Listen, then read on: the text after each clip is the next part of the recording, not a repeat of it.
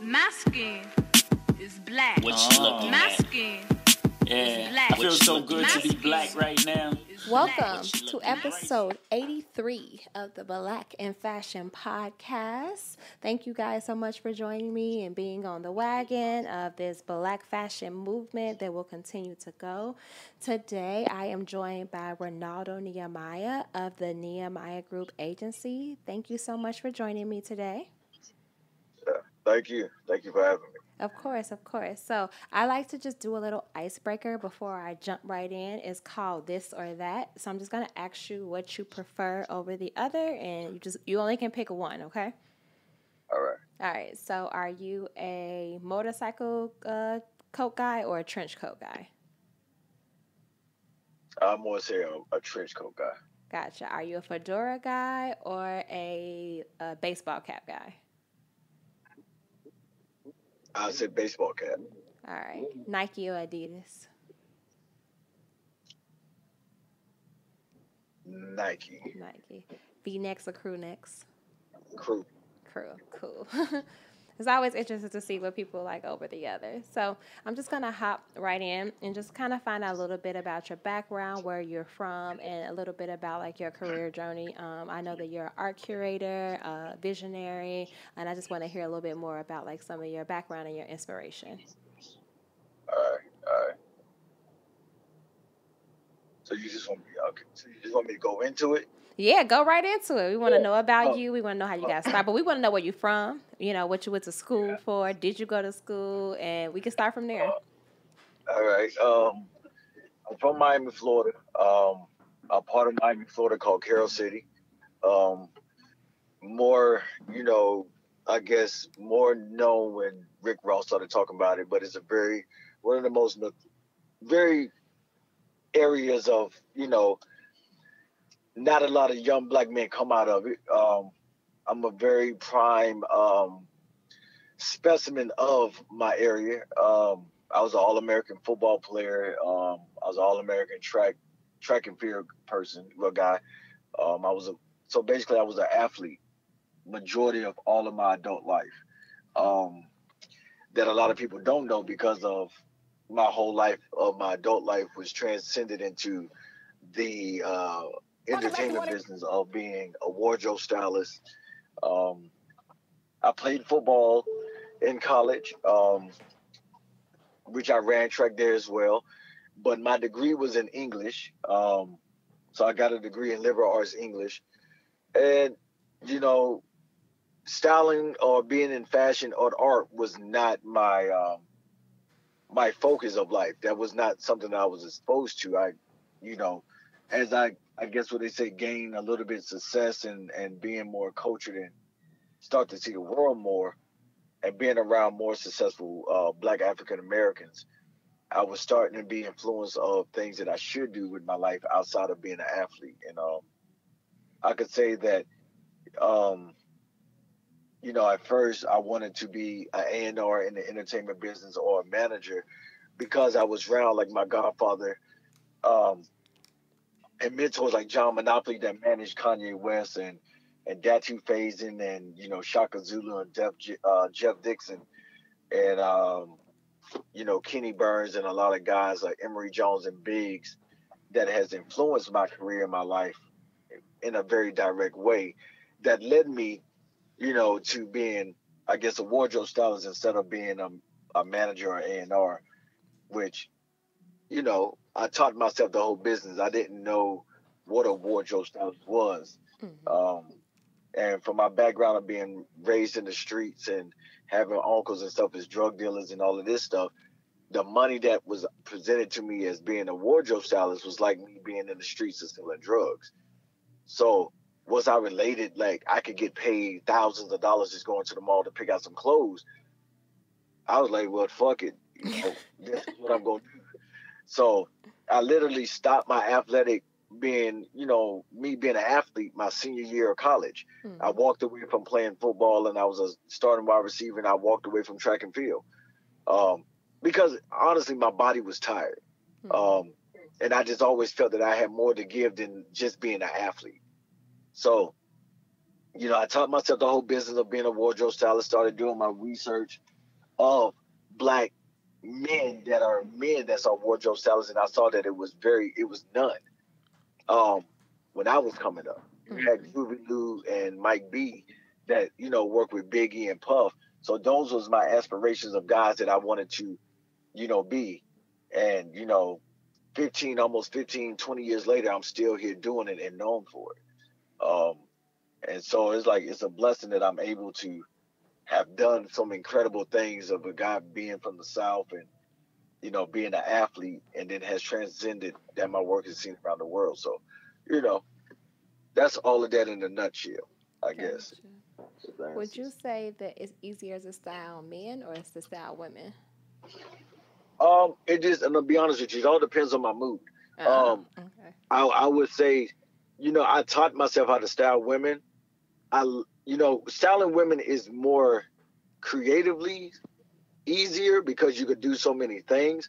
But I don't like styling women because it's too many variables depending on your mood. It depends on how she's feeling that day. It depends on, you know, I could use an example. If I'm doing a three look photo shoot with a guy, hmm that literally could take two hours if we're inside a studio.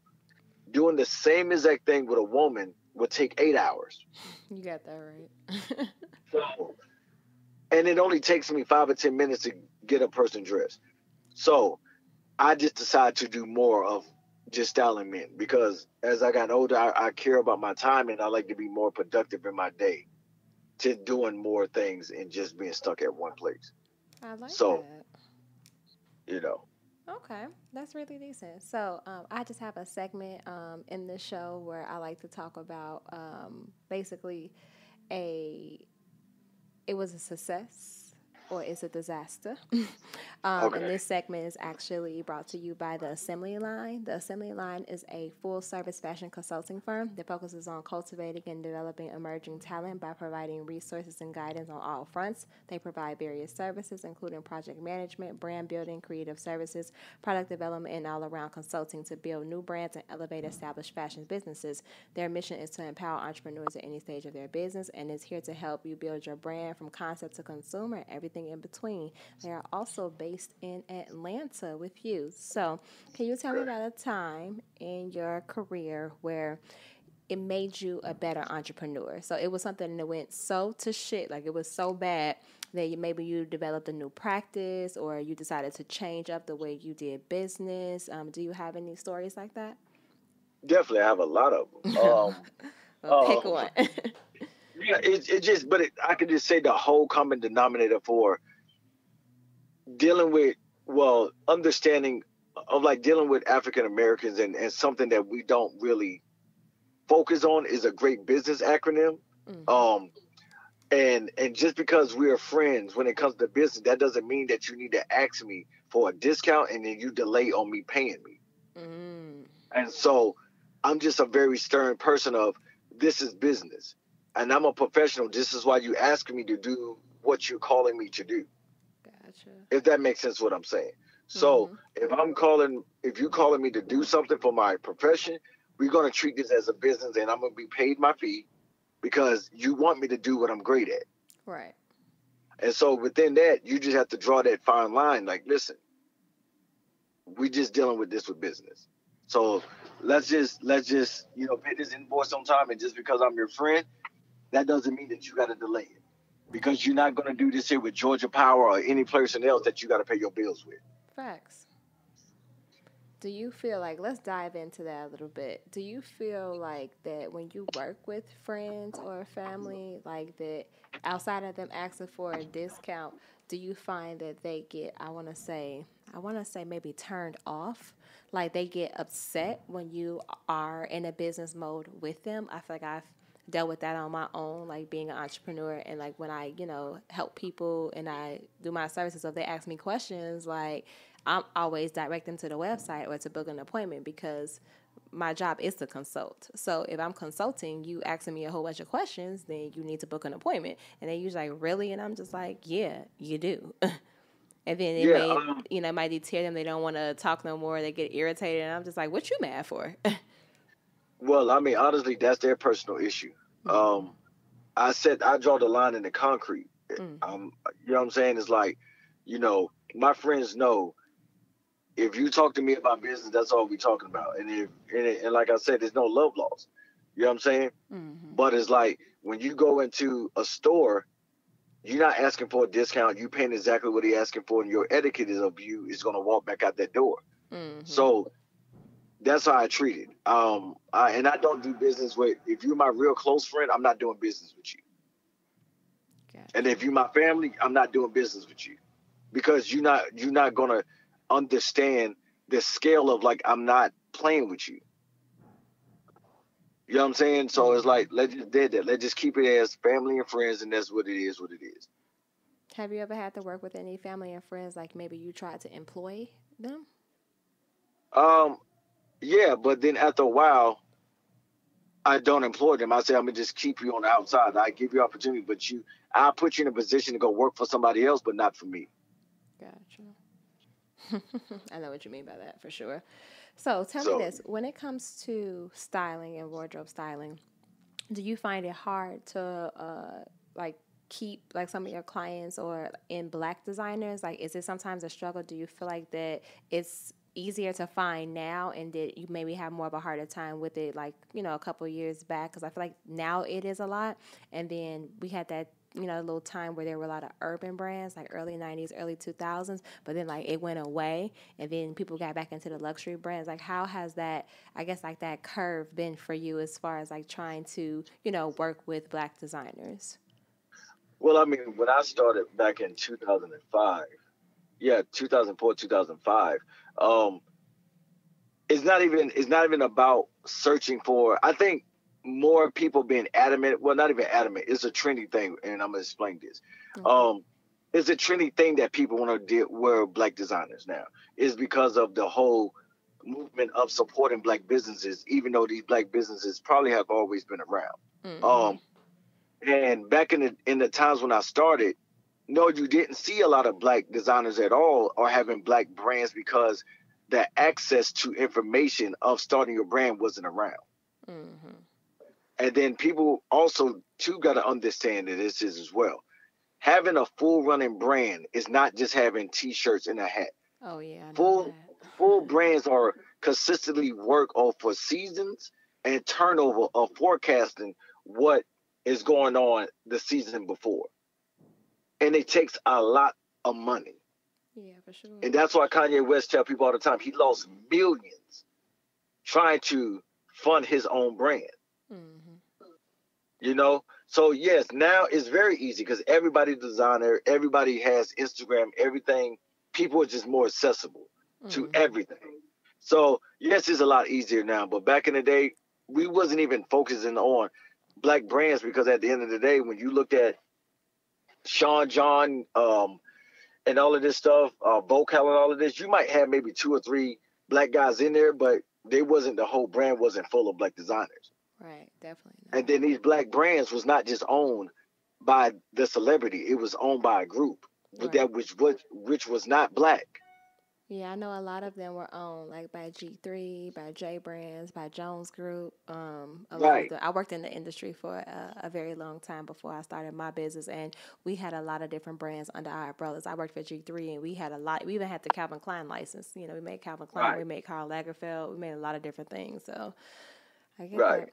I think there's a misconception there where people think that the everything is super duper black owned, but it's only I would say a certain portion of it that actually is. And I definitely agree Right. with you on the whole branding thing. Um, just a little bit about me. I own an apparel consulting company, um, and I help designers create their clothing brands. I do product product development and manufacturing. I do everything right here in uh, in Brooklyn, and I have so many designers that I've worked with. Like over the past year, I've worked with over 300 aspire. I'm gonna call them inspiring designers that you know they want to create clothing lines because I think, like you said, it is definitely a trend right now. Because I always have had this business. I've always done product development. I've always done manufacturing.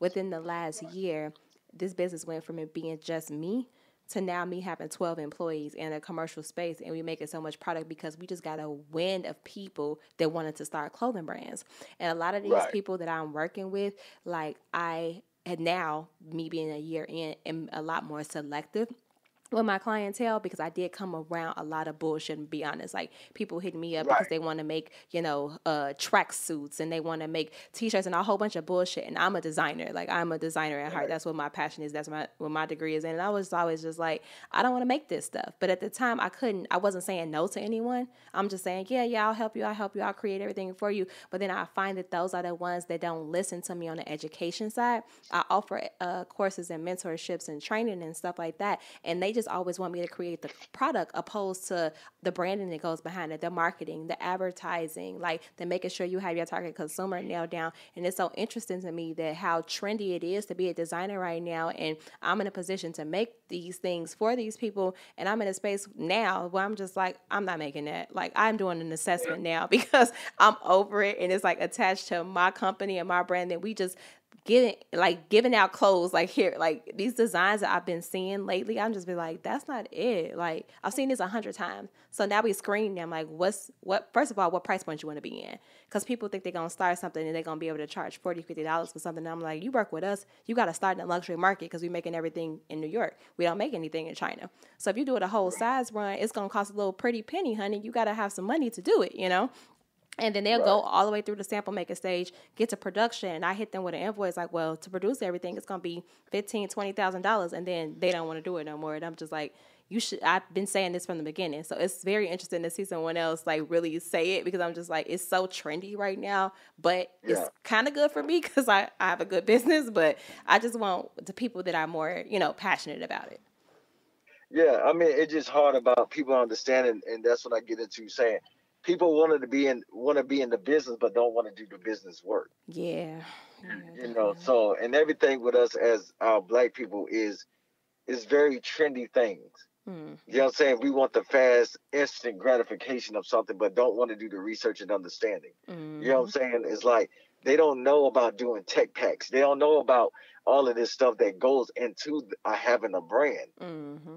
You know, and and and uh, again, we you know, it's sad to say, but we just do a lot of trendy things and just. Oh, I've noticed. I've noticed a lot of those people come in and come right back down. But I can tell now, um, from the get go, now I can actually tell which designers are gonna make it and which ones are not. I, I, like because it's the ones that you know investing in and really having innovation versus the ones that honestly don't. You know, Right. and it's very right. interesting. So, uh, Yeah. what was your, I guess, within the last five? I want to say because you probably have a lot, but I'm gonna say within the last maybe two to three years. What was your favorite project that you worked on? Um. Oh God. Um. I'm in there. Okay, let's say year. I'm like, I'm pretty sure you do so much stuff. yeah, yeah, yeah, yeah. Within the last Uh, year, what was your favorite project that you worked on? Year. I would say year.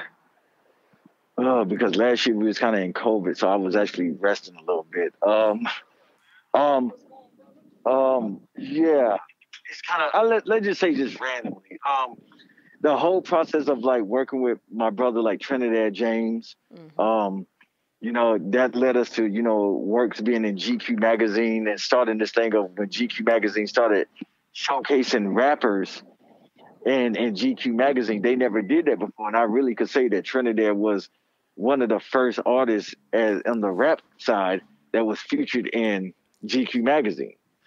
You know, um, and that just was dope because you don't see young guys from the South in GQ magazine. And then also, you know, I was blessed by Madeline Weeks at the time that was the editor at GQ to allow me to style that spread because they only use their in-house stylists. Mhm. You know what I'm saying? So from me being a guy from the South, I could say I might be the only man that has ever styled a spread out of GQ magazine that's from the South that did not work for GQ. That's what's up. You know what I'm saying? And this was when magazines was heavily in stores. Um, and I would say like, I mean, it's just so many that I'm been blessed to be around. But I think that one stands out the most because you would never expect two young black men that's a rapper and a man that's in fashion from the South that lives in the South to be featured work around the world in GQ magazine. Yeah, that's quite the accomplishment. That's what's up. Right. That is what's up. So, um, as we move into the second segment of the show, um, this segment is brought to you by J and J Legal. They help fashion designers and entrepreneurs build their brands, protect their creativity, and secure their legacy. They offer legal services and trademarks, copyrights, and business formation and contract drafting. You can book a free 15-minute discovery call with them today to get your fashion empire on the right track sooner rather than later. Definitely visit www.jnjlegalservices.com and follow J and J Legal on Instagram. Now. I want to talk about, um, I guess, education. So, from a wardrobe styling point of view, and just like from your experience, do you feel like it's better for you to just kind of hop out there and put yourself out there and network and bump shoulders with the right people, or do you feel like uh, school is necessary? Because I know there are a couple stylists that have created like fashion styling academies, like Misa Hylton has one, and then I've seen like these fashion styling programs like coming through via Instagram and stuff like that. Do you feel like education is really valuable, or you just gonna have to just go throw yourself out there? Um, that's where it gets tricky because I'm not the best example to say that because I tell people all the time I got struck by lightning. Mm-hmm. You know, I came from a whole nother world and just taught myself the business by trial and error because I'm a business sound person. Mm-hmm. And I think that people really need both understanding of it. You know what I'm saying? Because it just all depends on what you want your your part of the fashion business business in. Like I'm a wardrobe stylist, I'm a creative. I could tell you what I think in my mind as a designer, I guess, but I, I really don't want to sew. Mm. It takes too much time. You get what I'm saying? I really don't want to sit and deal with, you know, micro, you know, just like with sketching and all of that stuff. I can sketch something real fast and give it to somebody that they love to do that mm-hmm. and with the school for that because that's what they're great at and allow them to do it. It's like I have an athlete. I'm since I was an athlete, I have just an athletic mentality. Right. It's like me being a wide receiver. I don't want to be the quarterback because I just need to do my part.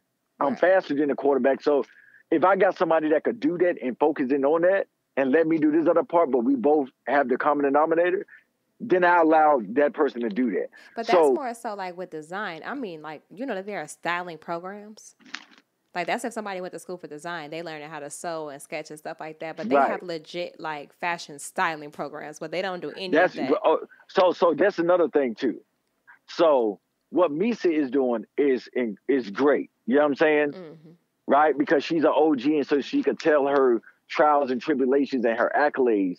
You know what I'm saying? Mm-hmm. But me personally, I don't think there there is not that's not a it's, it's something that is in you i think so too when, when it comes to styling you, like i feel like design you got to go to school because you, you got to learn how to right you got to go to school for it right, right. it's styling? like some barbers yeah. right i have met some barbers that never stepped foot in a barber school that could cut better than a barber that went to school wow yeah so it's like it's like is is in you that that's something like people like so how do you pick clothes out for people that don't look like you or dress like you. We don't even know. I couldn't tell you. It's just naturally something that is in my mind. Mm-hmm.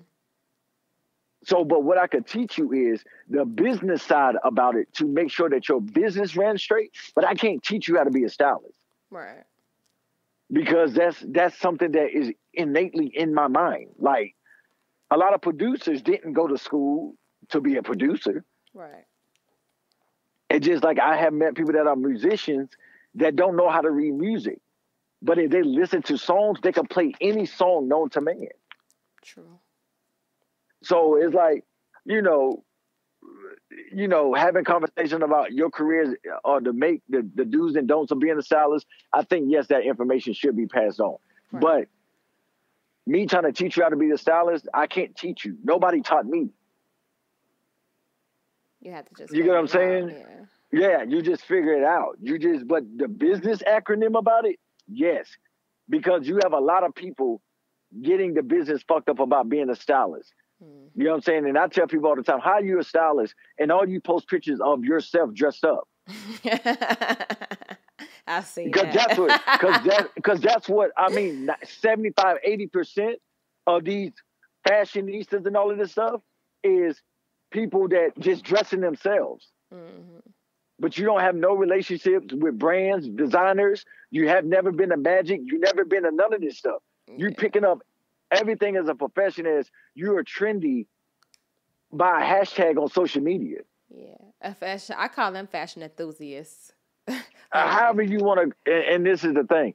I'm such from the OG side about it hmm that I don't even pay attention to it because when I'm on these jobs and the award shows and all of this stuff, I don't see none of these Instagram stylists around me. Hmm True. I don't see none of their work. They post more about them outfits of themselves than what the work that they're doing.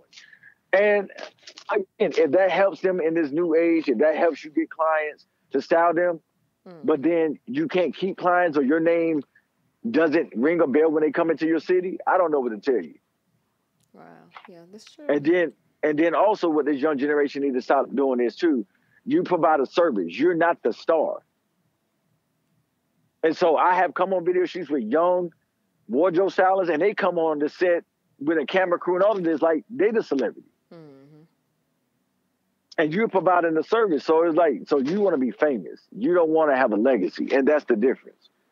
Yeah, that's, And the OG stylists, you know, don't respect that. You know what I'm saying? Mm. At the end of the day, you never saw June, you never saw Misa. You know what I'm saying? Until they had to do an interview and describing what their what their their vision was. hmm Groovey Lew really don't even be on Instagram. Yeah, I know. And he styled and he's the OG. Mike B, like you get what I'm saying? Like these guys that are OGs, the reason they respect me because I come from that last era of respecting the business and just doing your job and being great at it. We we let the work speak for itself. We're not trying to be on Instagram trying to be cute and all of this stuff with an outfit. Right, you're the background. I mean, like you like to play the background. Like and that's Right. and that's your level. That's that's where you want You, to be at. right. You too busy putting outfits on yourself. So what are you providing to your clients? True. Would you say that it's difficult to uh, gain relationships like with retailers and stuff like that? Like, how do you get them to No, it's trust? not. It's It's hard. it's not at all. Oh, okay. it's not hard because I really do this business. I'm really, I really do the business of being a wardrobe stylist. Mm-hmm. You know what I'm saying? And my and the way I'm as a man, I just handle my business in a in a in a way that from the way I'm as a man translates how I handle my business with people. Mm-hmm. And then ninety percent of the time, if I'm in a store anyway, spend a lot of money over and over again, they don't even know I'm a stylist until somebody might tell them who I am. And then it just as at the end of the day, I respect the store and the brand just as well as I respect my business. And all it is is that if you say you're going to do something, do it or communicate it why it didn't get done. Mm-hmm. But a lot of these young stylists say that they're doing something, messing the clothes up on Instagram, doing everything that they're not supposed to be doing, and disrespecting the business acronym. That's very interesting. Would you say that it's also like I guess with stylists, this I well, I'm pretty sure you are like that it is levels to it because I know Yeah, there are some people that yeah you know they only work in TV or they only work with you know certain like entertainment events, but then you have other stylists that work with people. I was gonna ask this question because I'm more so thinking about budgets and how I feel like I always hear stylists saying, or maybe it's just new. St- I've had interviews with both, like people who are a little bit more ahead and then people that are, I guess for me, I would say just starting out. And the ones that are just starting out always have an issue with budgets. But then I had Well- interviewed a stylist named Ty Turner. She's been working for BET and for VH1 for a long time, and she said that they still have budgets like issues with like Wildin' Out and different like uh, shows Right. and stuff like that. And I'm just like, how does that work? Like if, Well, if you don't have a budget, then you can't you can't be a, you need to dress yourself. Right. It's a difference when a network is paying you than a, a person, an individual is paying you. Do you get do that make sense what I'm saying? yeah, because a network might give you a certain budget versus like a, a celebrity giving you a, a Well, a, a celebrity want the cheapest shit, but want the most expensive shit, okay. right? Yeah. A network is like you getting money from a bank. They just gonna fund whatever they feel like whoever's in charge is gonna say what they need. Gotcha. You know what I'm saying? So it's a, it's like it's always of like spending your own money is different when you're spending somebody else's money. Gotcha. So when you're spending somebody else's money and you're playing with the house money, you you're not you're like whatever. Let's just get the job done. Let's make it the flies. But if it's but if it's if it's your money, you're like, well, sh- let's just get the most important things. We're not going to get all the op. Gotcha. Makes sense. Makes sense. Makes complete sense. So my last segment before I get you out of here is called "It's a Muse." Um, and It's a Muse is actually brought to you by the Brownstone Experience. It's a wellness and fashion and beauty experience inside of the Black women community. They are currently sourcing Black owned designers to add to their monthly collections. They are open to building creative partnerships with Black owned products and brands. They understand the old retail model does not work for both parties, and they are ready to create a new and innovative approach to meet their clients' expectations. So, It's a Muse is just anything that you do or have, it can be tangible that inspires you that you want to share with someone else, whether it be a quote, a mantra, an affirmation, a book, um, a prayer. Is there anything that you'd like to share that, you know, just keeps you going when it comes to like your entrepreneurship journey? Understand that the, the that is bigger than you. What you're doing in life could influence to take care of your family. It could leave a legacy for your children and it can it, uh, it will stand the test of time. So just understanding that it's bigger than you. Understanding that's a good that's a good mantra. It's bigger than me. It's bigger than me. I like that. Well, thank you so much, Renaldo. I appreciate you taking your time to speak with me today, and I appreciate no all problem. your feedback and all your expertise and advice, and for sharing your story with us. Yeah, no problem. I mean, and I wish much success to you and your in your company and your and your in your podcast. And Thank you know, you. when when when the shit gets tough, that means it's making you stronger.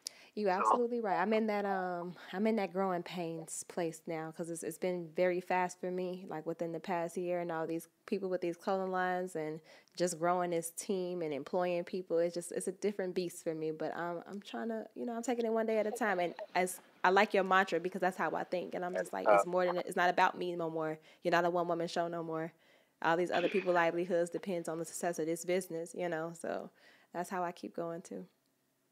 All right. Well, listen, much success, man. And anything I could do to help you out or support you, just hit me, and um, we'll do our best to get it done. Thank you. Appreciate it. You enjoy your evening. All right, you too. I have a good one.